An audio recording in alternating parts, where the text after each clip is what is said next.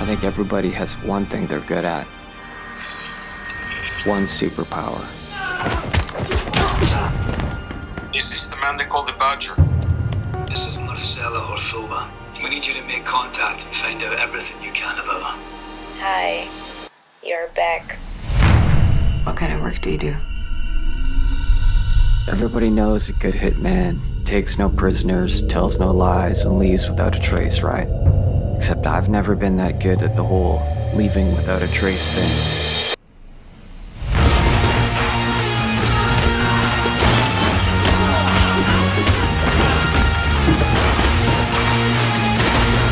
I just heard the girl is still alive. You trying to get me killed or something?